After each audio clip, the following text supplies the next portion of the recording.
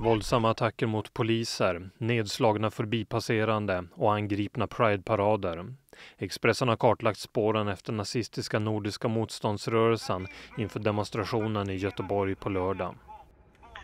Nej, det har jag inte en enda sekund över till. Hej då! Du Simon, eh, På lördag samlas NMR för demonstration i Göteborg under parollen Revoltera mot förbrytarna. Polisen har tagit höjd för oroligheter och bland annat iordningställt ett garage som en arrest för upp till 350 personer. Expressen har kartlagt hur nazistgrupperingen hanterat sina egna demonstrationer men också hur de gång på gång gett sig på andras demonstrationer de senaste åren.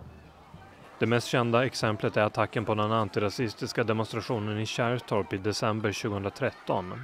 Men den senaste tiden har NMR också dykt upp vid Pride-parader runt om i landet. NMR har gett sig på förbipasserande som protesterat mot dem, exempelvis vid flygbladsutdelningar. En vanlig måltavla är också poliser. I januari förra året attackerade NMR poliser på Medborgarplatsen i Stockholm.